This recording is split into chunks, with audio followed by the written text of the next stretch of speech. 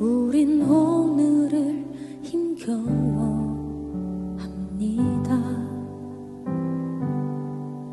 주뜻 이루며 살기에 부족합니다. 우린 우린 연약합니다. 주여 우린 넘어집니다 주여 우린 넘어집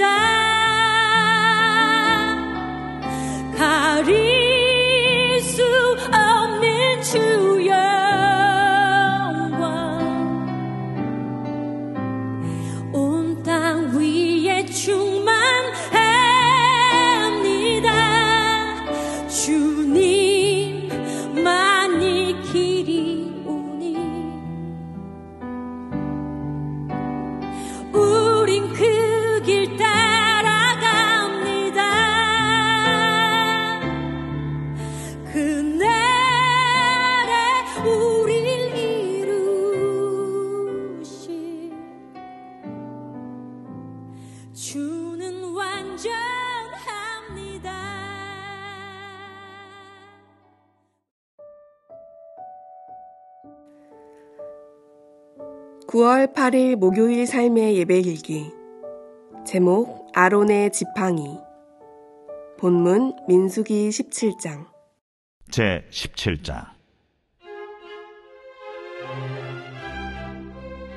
여호와께서 모세에게 말씀하여 이르시되 너는 이스라엘 자손에게 말하여 그들 중에서 각 조상의 가문을 따라 지팡이 하나씩을 취하되 곧 그들의 조상의 가문대로 그 모든 지휘관에게서 지팡이 열두를 취하고 그 사람들의 이름을 각각 그 지팡이에 쓰되 레위의 지팡이에는 아론의 이름을 쓰라 이는 그들의 조상의 가문의 각 수령이 지팡이 하나씩 있어야 할 것임이니라 그 지팡이를 회막 안에서 내가 너희와 만나는 곳인 증거교회 앞에 두라.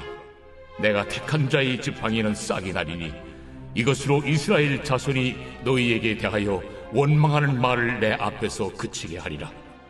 모세가 이스라엘 자손에게 말하매 그들의 지휘관들이 각 지파대로 지팡이 하나씩을 그에게 주었으니 그 지팡이가 모두 열둘이라. 그 중에 아론의 지팡이가 있었더라.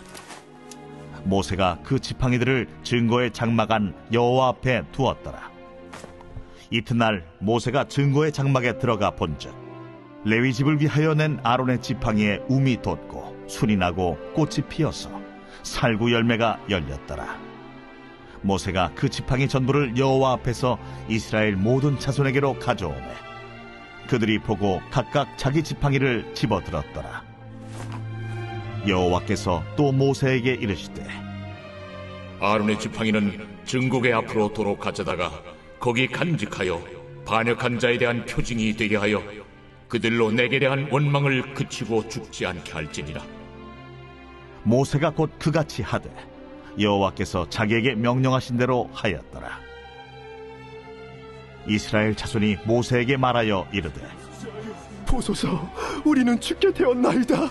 망하게 되었나이다. 다 망하게 되었나이다.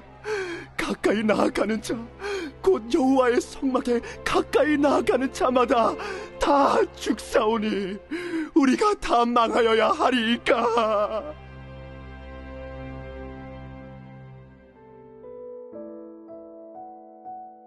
하나님께서는 각 종족을 따라 지팡이 하나씩을 취하여 증거궤 앞에 두라고 명하십니다. 이튿날 모세가 증거의 장막에 들어가 보니 레위 집을 위하여 낸 아론의 지팡이에 우미 돋고 순이 나고 꽃이 피어서 살구 열매가 열렸습니다.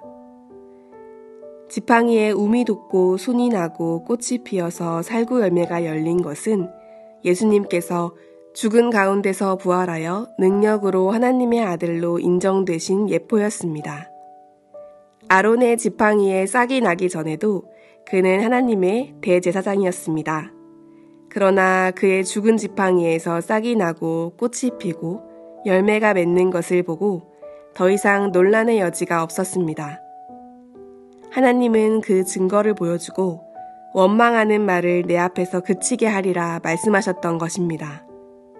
아론이 내가 세운 제사장이라고 확실하게 증명해 보이신 것입니다. 예수님 당시의 종교 지도자들도 주님께서 자신을 하나님의 아들이라 말씀하실 때 미쳤다, 참람하다 말하면서 거역하였습니다. 증거를 대라고 했습니다. 그러자 하나님은 십자가에 죽고 부활하게 하심으로 증명해 보였습니다. 저를 죽은 자 가운데서 다시 살리신 것으로 모든 사람에게 믿을 만한 증거를 주셨음이니라. 그리고 믿으라고 하십니다. 그런데도 믿지 않고 거역합니다. 그것이 죄인입니다. 부활하신 예수님은 지금 하늘의 지성소에 계십니다. 하나님 우편에서 우리를 위해 기도하고 계십니다. 이를 믿으면 구원을 얻습니다. 그런데도 십자가와 부활을 보고도 믿지 않으면 고라를 따르던 자들처럼 죽음 외에 다른 길이 없습니다. 스스로 가슴에 손을 얹고 한번 생각해 보십시오. 나는 나의 구원자 예수 그리스도를 믿는가? 적용 말씀. 오늘 주신 말씀을 통해 깨달은 은혜는 무엇입니까? 적용 질문. 나는 그리스도인으로서 어떠한 표시를 가지고 있습니까? 금주 암송 말씀. 이사야 26장 3절. 주께서 심지가 견고한 자를 평강하고 평강하도록 지키시리니 이는 그가 주를 신뢰함이니라. 이사야 26장 3절 오늘도 행복한 삶의 예배자로 살아가기 위해서 다음에 말씀드리는 일곱 가지 항목을 훈련해 보시기 바랍니다. 감사. 오늘 하나님께서 베풀어 주신 은혜에 대한 감사한 일 다섯 가지를 기록하십시오. 기도. 하루 세 번 기도하다 받은 은혜를 기록하십시오. 전도. 하루 한 사람에게 복음을 전하다 받은 은혜를 기록하십시오. 사역. 사역을 하다가 받은 은혜를 기록하십시오. 선행. 거룩하고 선한 삶을 통해 하나님의 이름을 존귀케 하다가 받은 은혜를 기록하십시오. 용서. 나에게 아픔과 손해를 끼친 자를 용서하다가 받은 은혜를 기록하십시오. 회개.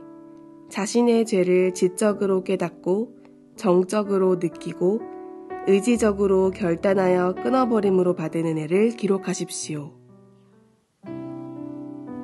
예배일기책으로 자신의 모든 삶을 거룩하게 하여 주일 공예배와 평일 개인적 삶의 예배에 거룩한 산재물로 드림으로 예배 승리, 신앙 승리, 사역 승리, 인생의 승리자가 됩시다. 개인 기도하심으로 오늘 시간을 마치겠습니다. 주여,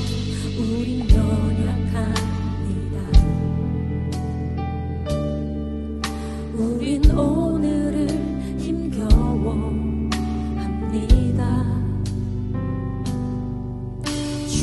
이